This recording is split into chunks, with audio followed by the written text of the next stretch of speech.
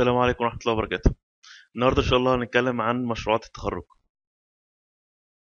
آه بسم الله والحمد لله والصلاة والسلام على رسول الله إيه المشكلة في مشروع التخرج؟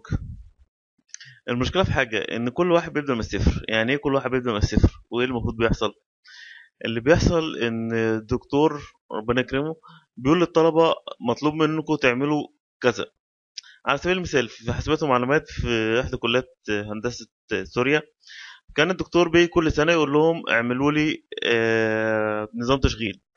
فالطلبة بتقعد طول السنة تعمل نظام تشغيل مصغر فبيوصلوا إنهم يعملوا حاجة قريبة من ال DOS أو Windows 3.1 من 10 تمام؟ السنة اللي بعديها الطلبة تيجي ياخدوا نفس الفكرة. تمام؟ السنة اللي بعديها برضو الطلبة يبدأ من الصفر لحد ما يوصل ل Windows 98 يعني كبيره قوي لو عرف يوصل لحاجة قريبة من كده. تمام؟ طيب. ليه ما نبنيش على بعض؟ يعني إيه؟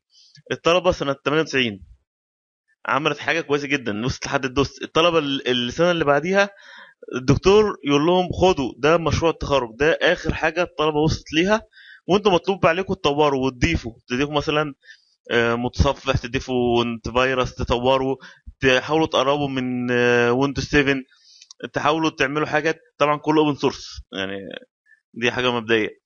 تمام؟ نحاول إن إحنا نطور. يعني إيه؟ مشروع التخرج مبني على المشروع بتاع السنة اللي فاتت. دي نقطة مهمة جدا. هتفرق كتير جدا جدا.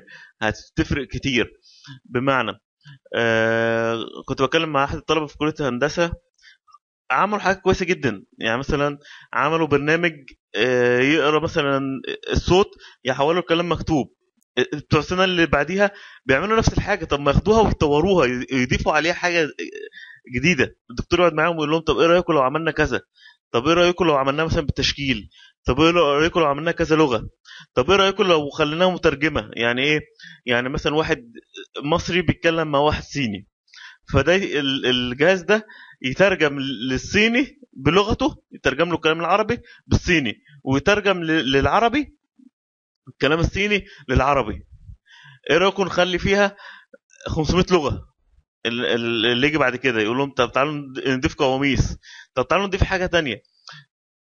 ملخص اللي أنا بقوله إن كل سنة نستفاد من تجارب كل السنين اللي فاتت ونزود عليها. طيب السنة خلصت ومشروع التخرج بقى موجود معانا. كل طالب بيحاول يستفاد منه يحاول مشروع التخرج دوت يكون هو هو المشروع المشروع بتاعه في الحياة. يعني لو يقدر يخلي ده مشروعه في الحياة إن هو يفتح شركة خير وبركة. ما قدرش يضطر إن هو يشوف حتة ال بيسموها السلم الوظيفي وإن هو يدور في الشركة قطاع خاص والحاجات دي. مفيش اي مشكلة خالص. طيب مشروع التخرج بتاعك ما ترموش في الدرج.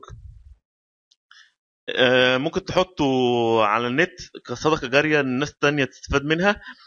آه وطبعا بتحط اسمك وتليفونك وإيميلك بحيث لو في حد اقتنع بالفكرة وعايز ينفذها أحسن واحد ينفذها اللي هو فكر فيها فيتصل بيك. آه تبقى حاجة ليك في السي في بتاعك. يعني تحاول تعمل تطبيق عملي وتحاول تحطه على النت وتكتب يا إخوانا ده شغلي بحيث لو في حد مقتنع بيها اتصل بيك. محدش يقتنع بيها آه الناس بتشتغل بيها.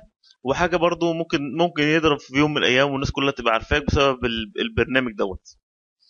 تمام؟ آه الفكرة كلها موضوع إن إحنا ما نكتبش المعلومة وإن إحنا نطور من نفسنا وإن إحنا كل سنة نستفاد من التجارب السنة اللي قبل كده والدكتور نفسه يكون مشرف عليها. يعني يعني الدكتور نفسه عارف الطلبة وصلت لكذا فيقول لهم خدوا آخر حاجة الطلبة بتاع السنة اللي فاتت وصلت ليها تعلموها واستفادوا منها وزودوا عليها واحد واثنين وثلاثة وأربعة. أتمنى يكون الموضوع وصل وأتمنى آه يكون الموضوع سهل وبسيط. الموضوع الدكاترة تكمل مسيرة الناس وموضوع البحث التخرج بتاعك ما ترموهوش. لا حاول تديه لحد تاني حاول تحطه على النت بحيث الناس تستفاد منه. إحنا نفسنا نبني وطننا و... و... وضع بصمتك.